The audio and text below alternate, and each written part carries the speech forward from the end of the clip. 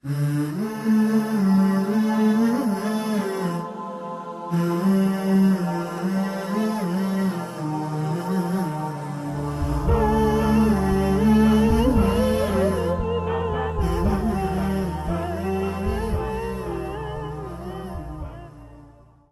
الله الرحمن الرحيم نحمده ونصلي على رسوله الكريم اما بعد معزز ناظرین گرامی پروگرام اسوہ رسول اکرم صلی اللہ علیہ وسلم میں ہم آپ کے خدمت میں حاضر ہیں۔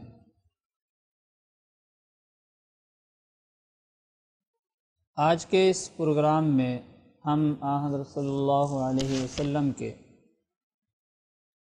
الطاف کریمانہ جو حضرت صلی اللہ علیہ وسلم کی عادات شریفہ تھی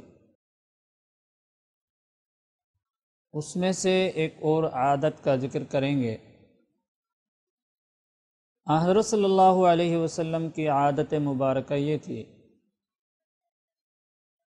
کہ کسی قوم کے بھی عزت دار جو آدمی ہوتا تھا، اس کی حضرت صلی اللہ علیہ وسلم بہت زیادہ عزت کیا کرتے تھے۔ اور اسی آدمی کو اسی قبیلے کا سردار مقرر فرمایا کرتے تھے۔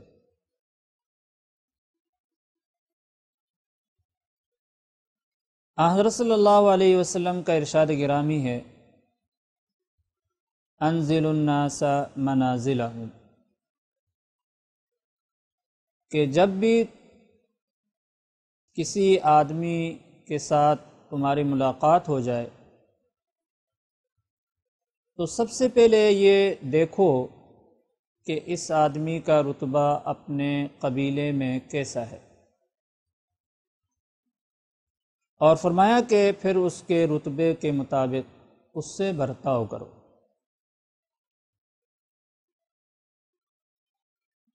کیونکہ عزت مند آدمی کی عزت کرنا یہ مستقل ایک فریضہ ہے۔ اور حضرت صلی اللہ علیہ وسلم نے عملی طور پر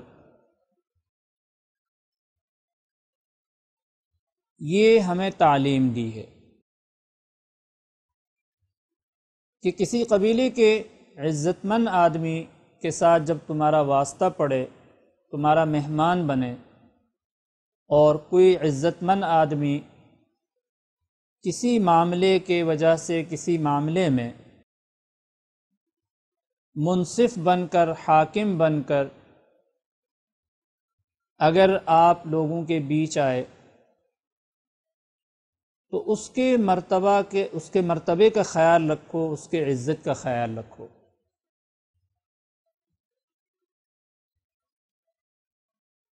اب اس سے ہوتا کیا ہے؟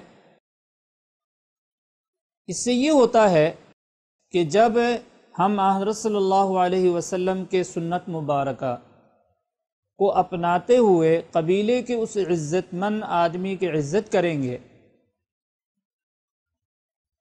تو یہ عزت مند آدمی ہماری بھی عزت کرے گا اور اپنے قبیلے سے بھی ہماری عزت کروائے گا۔ اور انسان من حیث الانسان۔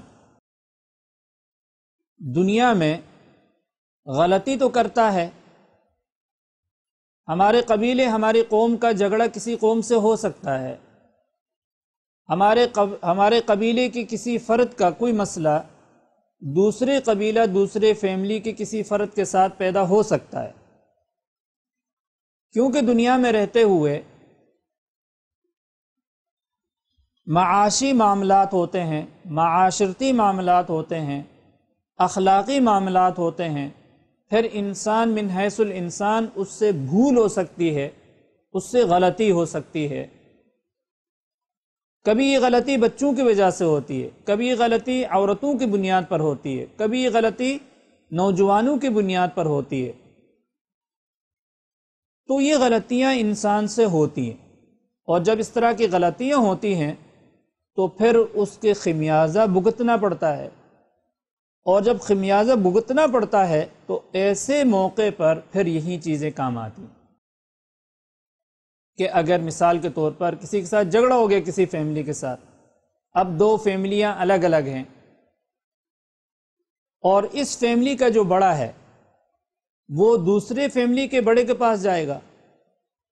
اب اگر پہلے سے میں نے یہ عادت بنا رکھی ہے کہ میں ہر فیملی کے بڑے کی جو نا عزت کرتا ہوں اس کے احترام کرتا ہوں اور اس کے فیملی کے اندر جو رتبہ ہے، اس رتبے کا خیال رکھتا ہوں۔ تو ظاہر بات ہے کہ جب بات کرنے کے لیے میں دوسرے فیملی کے بڑے کے پاس جاؤں گا، تو وہی رویہ وہ میرے حق میں اپنائے گا، میری عزت کرے گا، میرا احترام کرے گا، آپ کے فیملی کا احترام کرے گا۔ اب اس کا فائدہ کیا ہوگا؟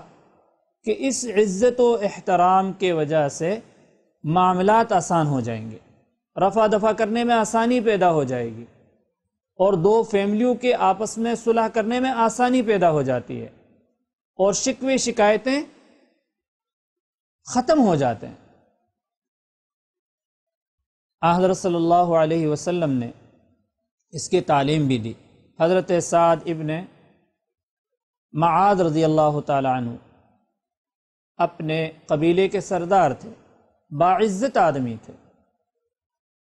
غزو خندق کے موقع پر زخمی ہوئے اور غزو خندق سے جب مسلمان فارغ ہوئے تو اللہ کے حکم پر بنی قریضہ جو یہود کے قبائل تھے، جنہوں نے اس موقع پر غداری کی تھی اور مسلمانوں کے خلاف سازش کی تھی، اہل مکہ سے مل کر۔ تو اللہ کا حکم آیا کہ ان کو سزا دینی ہے اور ان کے قلعوں کو فتح کرنا ہے اور ان لوگوں کو مدینہ منورہ سے خارج کرنا ہے۔ حکم ملا کہ فوراً جا کے محاصرہ کیا جائے۔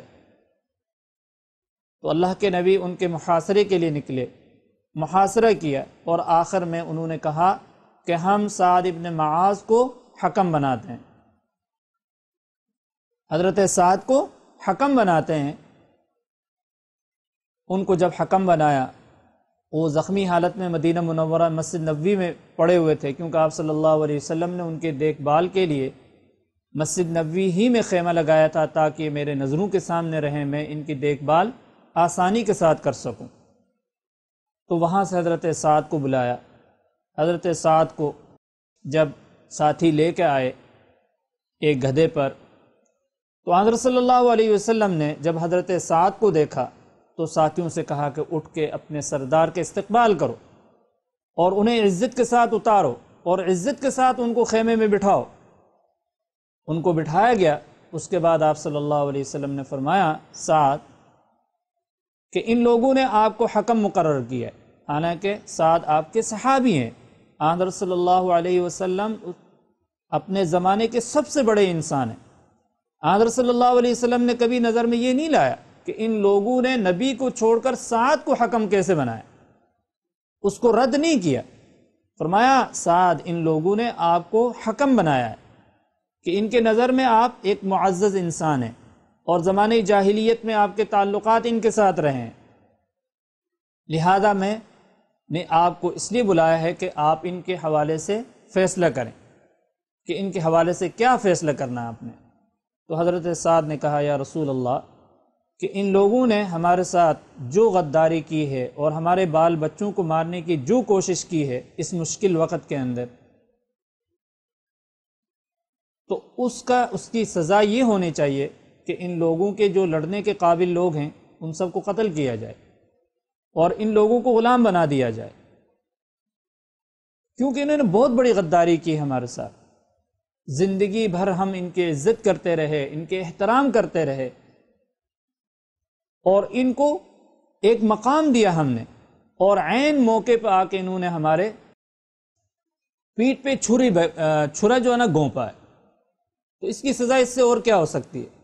تو حضرت صلی اللہ علیہ وسلم نے فرمایا، ساتھ آپ نے وہی فیصلہ کیا جو اللہ تعالیٰ کا فیصلہ تھا یعنی گویا کہ وہی نازل ہو چکی تھی۔ اور آپ کے، ہم دیکھتے تھے کہ بھائی آپ کے جو ہے فیصلہ ہے، وہ وہی کے کتنے موافق ہے۔ تو اللہ تعالیٰ نے کیا کہ آپ کا فیصلہ بالکل وحی کے موافق ہو گیا، تو اس پر عمل کروایا۔ اب میں یہاں جو بات کہنا چاہ رہا ہوں وہ یہ ہے کہ دیکھیں آندر صلی اللہ علیہ وسلم اللہ کے بعد سب سے بڑی شخصیت، اور صحابہ کرام آپ کے بات کے سامنے بات تک نہیں کرتے تھے۔ اور اپنی رائے آ حضرت صلی اللہ علیہ وسلم کے رائے پر اپنی رائے کو فوقیت نہیں دیتے تھے، ہمیشہ آپ کی رائے پہ چلتے تھے۔